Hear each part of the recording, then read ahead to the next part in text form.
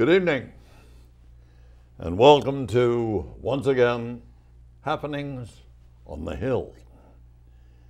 I have a distinguished guest that I enjoy very, very much, off camera and on camera. I know you recognize her here in Medfield. She's done a tremendous amount of work for people in Medfield. State Representative Denise Garlick.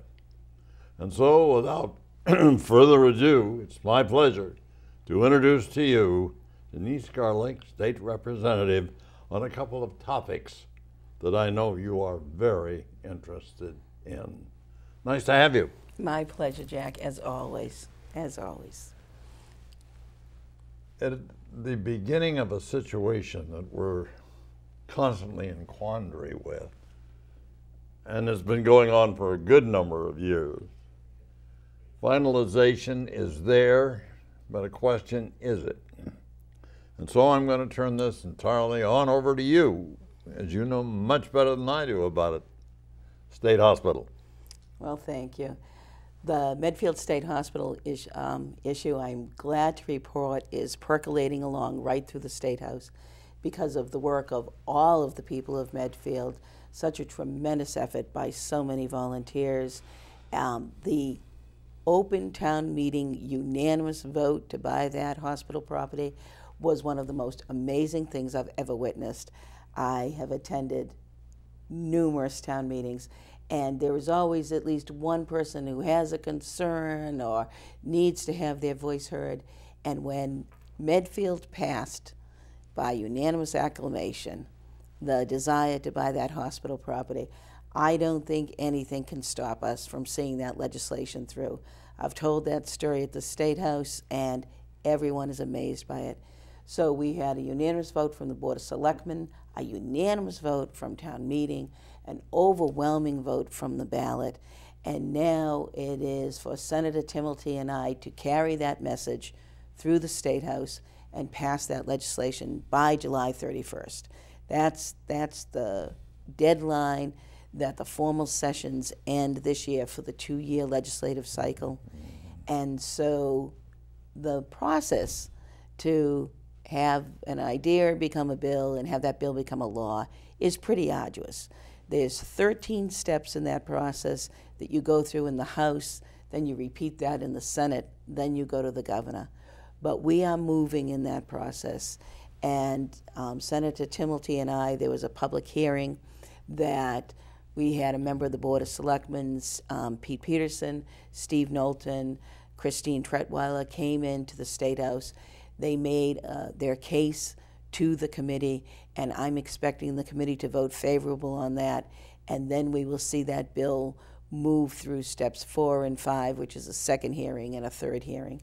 But we have done a tremendous amount of homework on the House side and on the Senate side and I am expecting that bill to move and move successfully. Well, you had said, Denise, just a few moments ago, time waits for no one. That's right. And it's running out. And it's the end of July. That's it. Now, after the, once the governor signs it, then the situation falls back to Medfield. Right. For the purpose of the property. Mm-hmm. I know that you, and I commend you on it because I know you've worked awfully hard, and I know that Senator Timothy has worked awfully hard. There has been a number of comments, a number of questions, and I get them in the morning when I have my coffee, relative to this situation. Because at one time, uh, and you were there at the time, they, we had that special meeting. Mm-hmm. There, it was a tremendous meeting, tremendous amount of people there. And believe it or not, it only lasted an hour and a half. uh, I was talking to Scott about that. But everybody is here right now is very, very anxious. And one had said to me, oh, I would say probably four or five days ago, is this going to be the hurry up and wait program until it is finalized? I said, Well, believe me, there's nothing else you can do. Mm-hmm. so how are things progressing right at this moment? So they're moving very well. You know, the the reason it's so many steps to pass legislation is because those, of course, are the laws that we live by.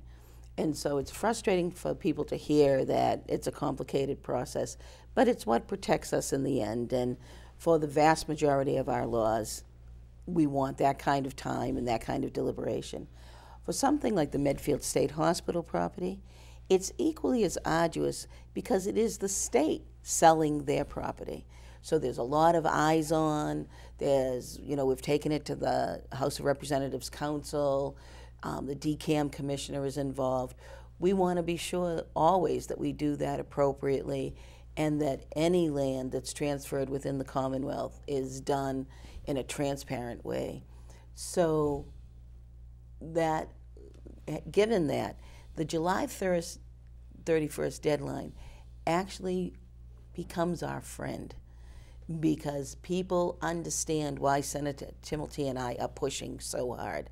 And I am working on this every single day. And when people see me in the State House, they go, I know, I know, the Medfield State Hospital property. I know, Denise. But that's what it takes. But the date actually gives us some momentum. So I, I would never make a promise I couldn't deliver on, but I would tell you that I am very confident we're going to be able to get this done.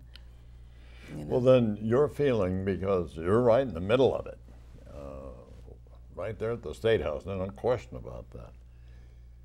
We here in Medfield, like, like Sullivan, the selectmen and so on, can do just so much. Mm-hmm. And now it's up to the state. Right.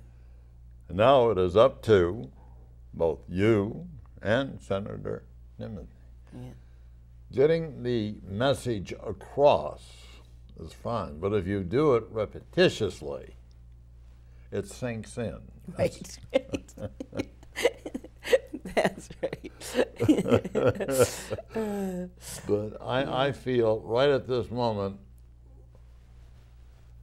and maybe somewhat, Denise, a hard question, but what's your opinion of the situation at this moment? So, I think that the town of Medfield to be able to buy this property is a tremendous opportunity. You know, I I am so pleased that the people of Medfield see that opportunity and are ready to take that on.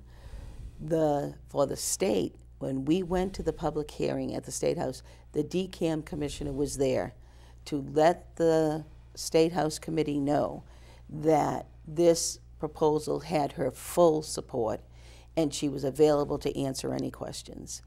But because we had done so much homework on this and the committee was already well versed in this, they had no questions of her other than, Do you support this? And she said yes.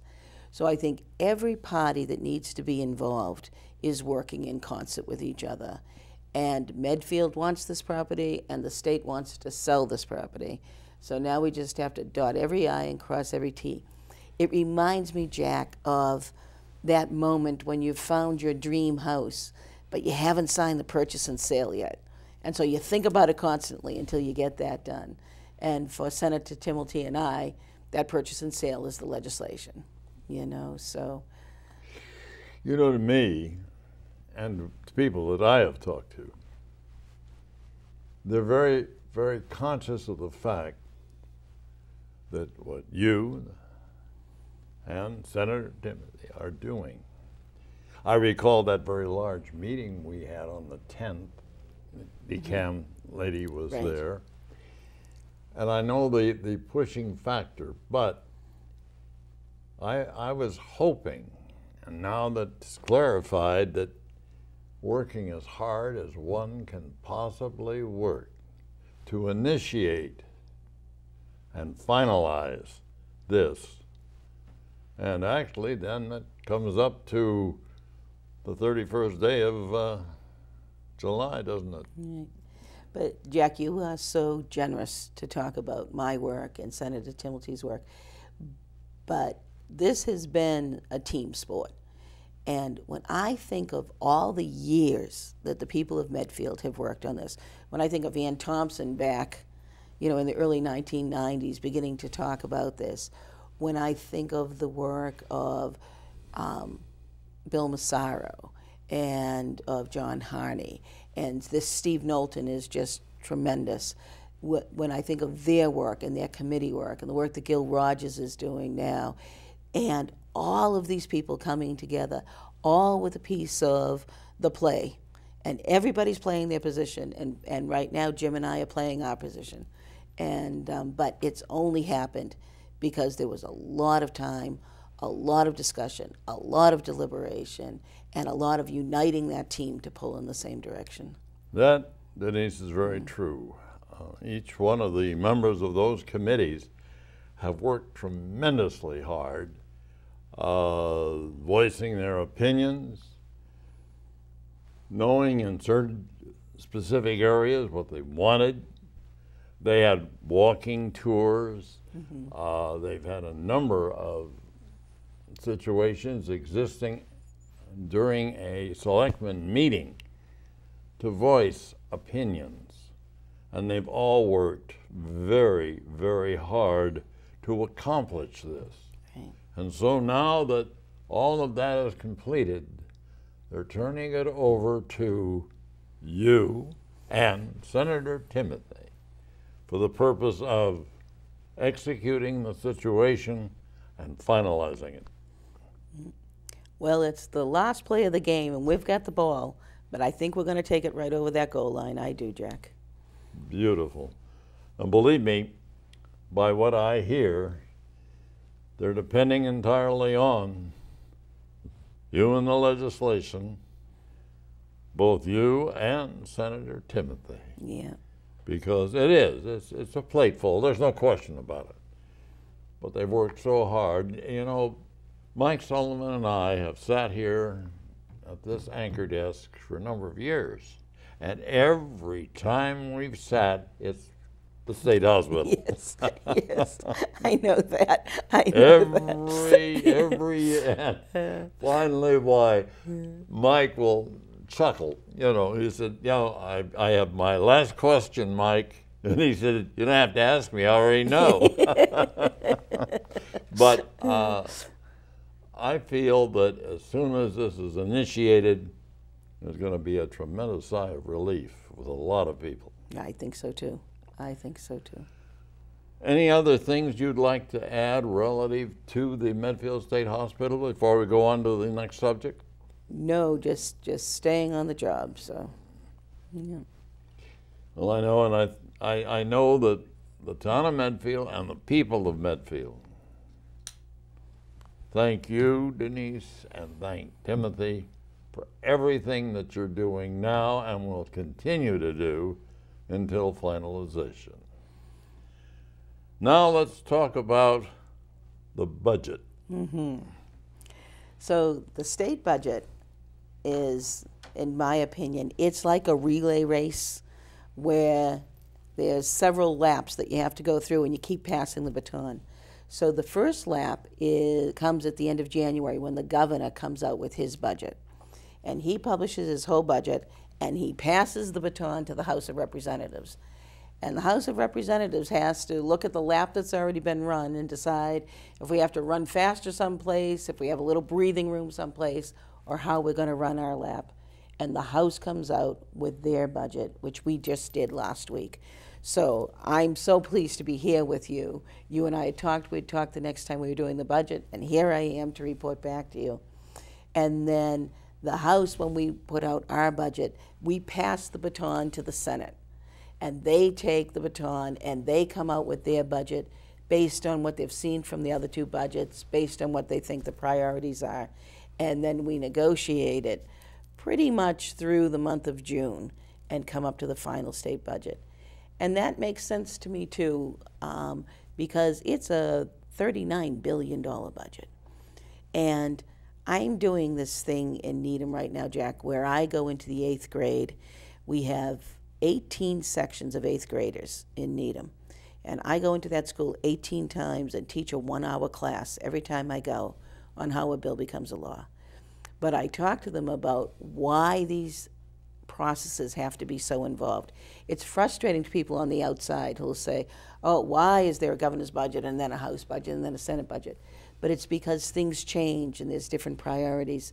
And to me, a budget is simply our values put into action. So I'm pleased, really pleased, to report back to the town of Medfield that in this budget, we've increased the um, local aid money, the money that comes back, that's unrestricted money that can be used for police and fire and to support, you know, public services. That was increased overall by $22.5 million this year. And that was a real push by the House of Representatives. That's over the governor's budget. And for Medfield, what that means, Jack, is it means that last year Medfield got about a million two hundred thousand dollars in um, local aid money, and this year there'll be a million, almost three hundred thousand dollars. So that's a good increase for the town, nearly a hundred thousand dollars. The education money, which is the other thing that I always want to report back to Medfield on, is has been increased by hundred million dollars by the House of Representatives in this session, and that's something that I worked hard on. Around Knowing the education money, you might remember that I'm the vice chair of the Joint Committee on Education. So I worked very hard on that money coming back to our districts and what that means to the values that we have in Medfield. And so that increase, last year, um, Medfield got about five million seven hundred ninety-seven thousand dollars in education money. And this year from the state, the town of Medfield will get five million eight hundred and sixty-two thousand dollars. So that's an important increase when we think that, particularly in Medfield, because there's not a strong commercial base, all of education is supported by the personal property tax. And that's a real burden for folks. So although there's $5.8 million, I know Medfield needs more than that and could use more than that very efficiently. Um, it does help. It's important money coming back to the town, and it does help.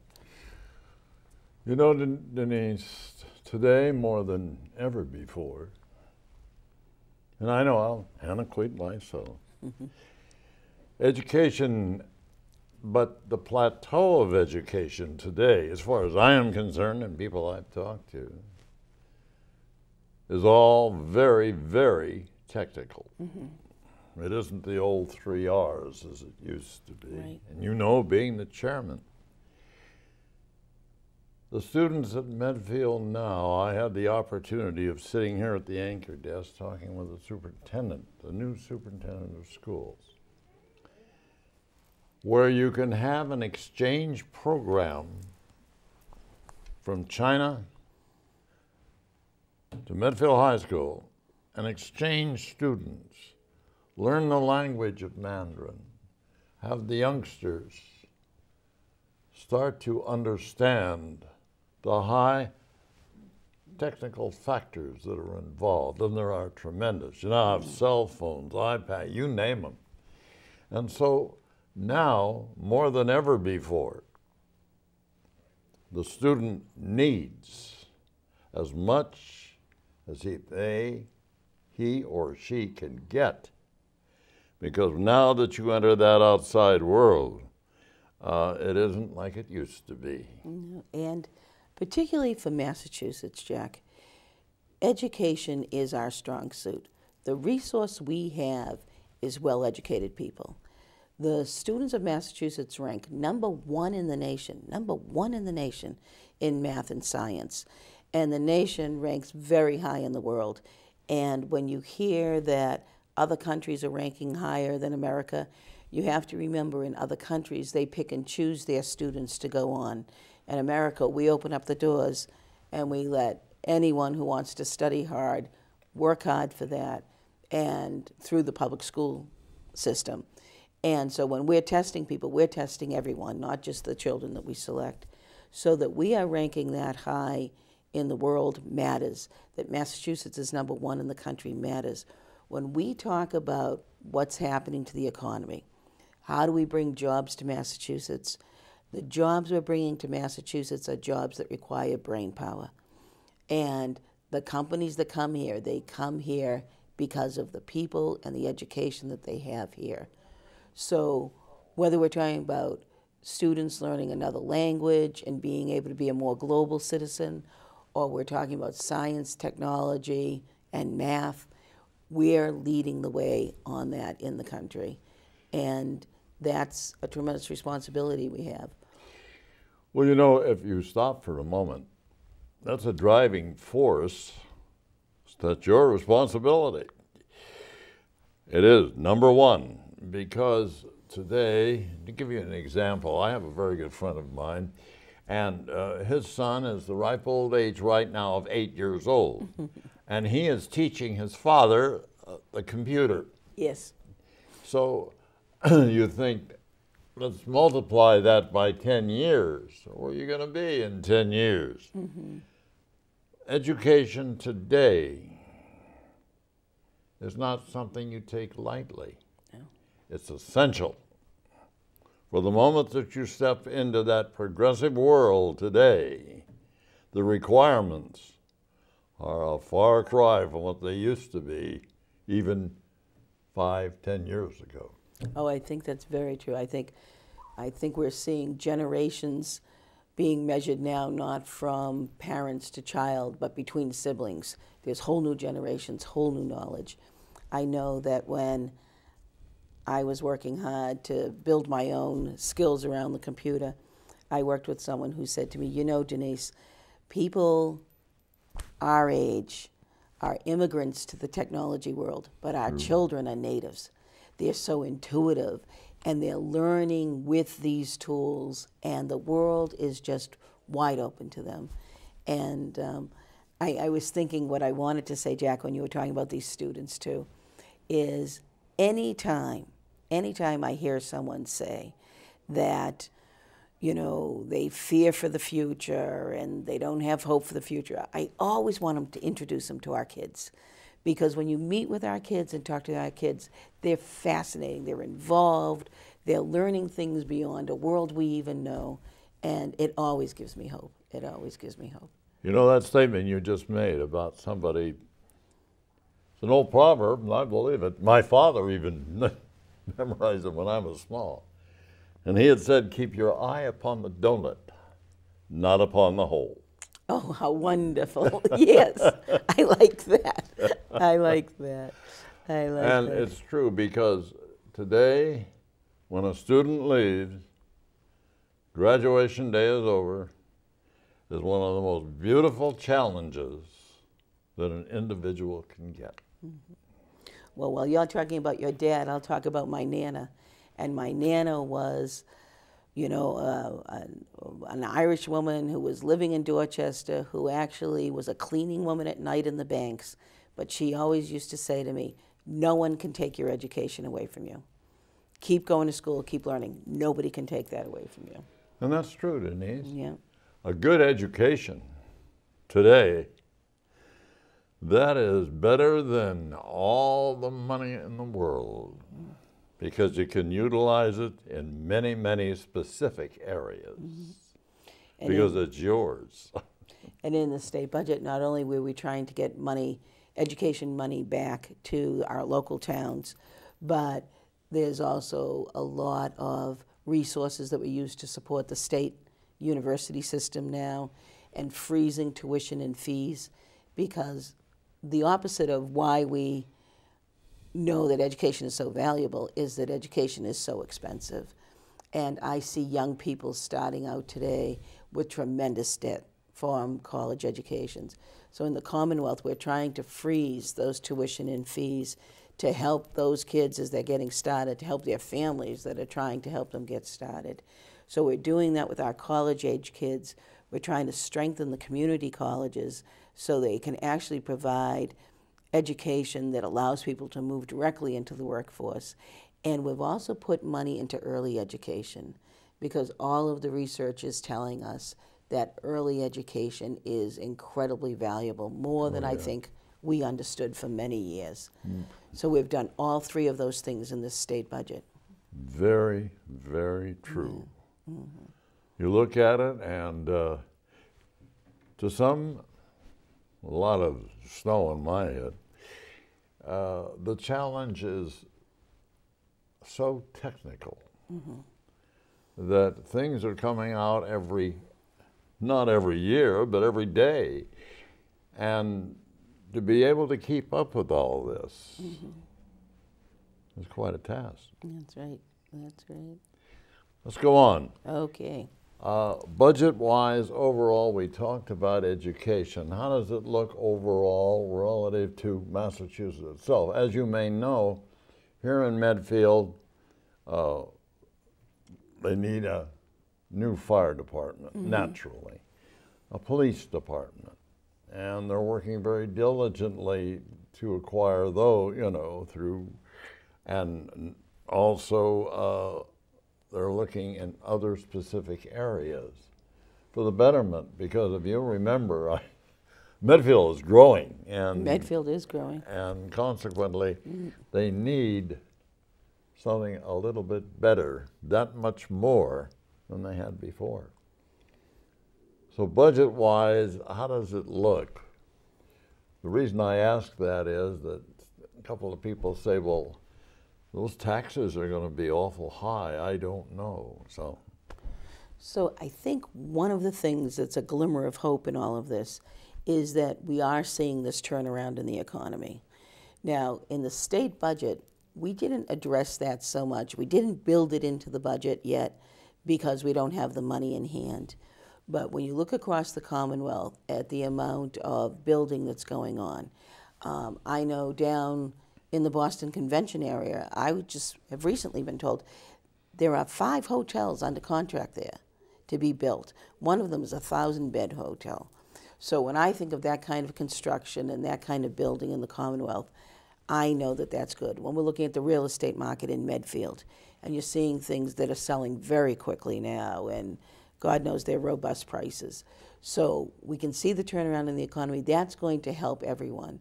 And the town does have to do take on big projects because we want the town to grow as the number of people in the town grow and as the need grows. But my experience with Medfield has been that they are very thoughtful. And I'm counting on the fact that there'll be a good strategic plan. And the people in Medfield will know what they need to do and when they need to do it and how they can plan for it. And anything that I can do, you know, to be helpful in that process, you know that I'll do that. But um, we have to plan for the future. It's we have to take care of our, our house. you know, Denise, it's very obvious because the effort that you and Timothy put forth on that hill is very, very important to the people of Medfield.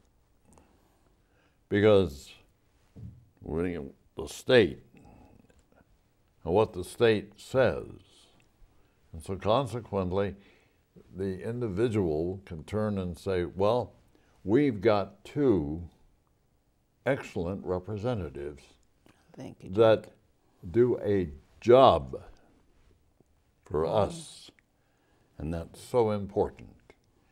It reminds me of an old gentleman that said, you know, education and politics. Well, once you're educated and you have politics, you got a chair and you sit in it, and that's about the extent of it.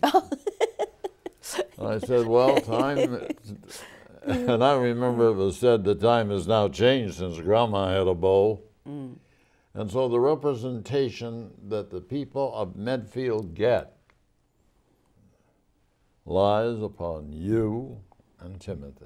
Mm-hmm. For you are the spokesman of this town. Well, and- this town actually is theirs, but they always and constantly want to know where is it going and the only source of information that they can possibly obtain from the selectmen and so forth, then right to happenings on the hill. oh, thank you. So believe me, by what I hear, they're very enthusiastic and comfortable that you're there. Well, thank you, Jack. It, it's a privilege to represent Medfield. I'm, I'm proud to represent Medfield. And I think that's one of the things, Jack. You know, I always say to people, I know the headlines can be bad, but the capacity to do good in this job is great. And when we're working on issues related to Medfield, on the water tower and pass that That's legislation. important, yes. And when, you know, I meet with the superintendent on the education issues, and I meet with Mike as the town is looking to the future, those things aren't headlines, but they're the homework that makes our communities our hometowns. And, you know, that's good work. That's good work. That's serving the people. And I want to say, too, that both Senator Timilty and I have the pleasure of welcoming the new representative who's getting his feet on the ground, Shawn Dooley, who will represent part of Medfield. And I am working hard right now to make sure that we're all on the same page, that I share anything that I know with him so that you know, two people working hard is good, three people working hard is even better. you know? That is so true. Well, I noticed the old clock on the wall as I usually do. And I wanted to get and have your opinion now. I'd like to turn this over to any of your comments or anything that you would like to say before we say good night. Well, I, I would I would like to continue to say that we will work on the Medfield State Hospital property till we bring that over the goal line, and that we will continue to see the budget grow and change as it goes through the Senate and then that final phase.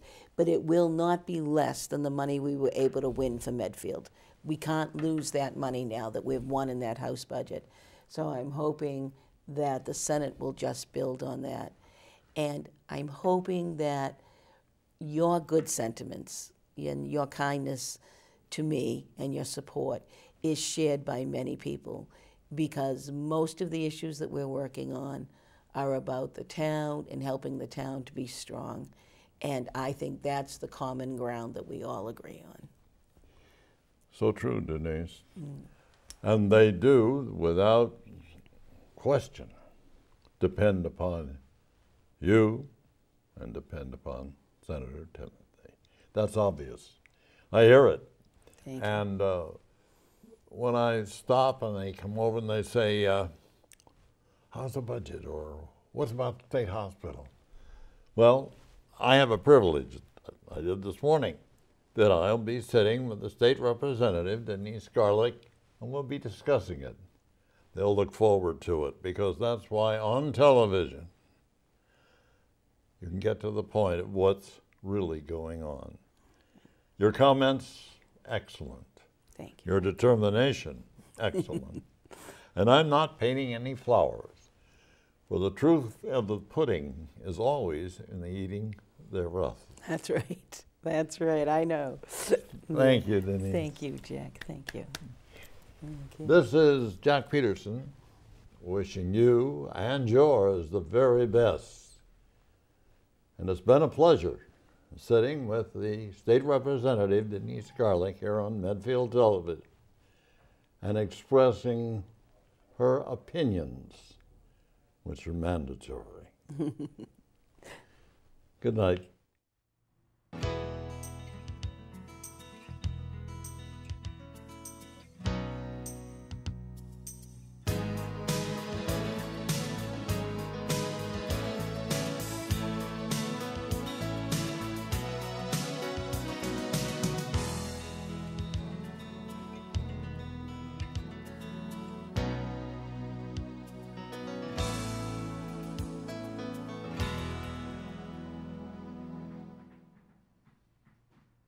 Hi, I'm Bob McGuire, and you're watching Medfield.tv.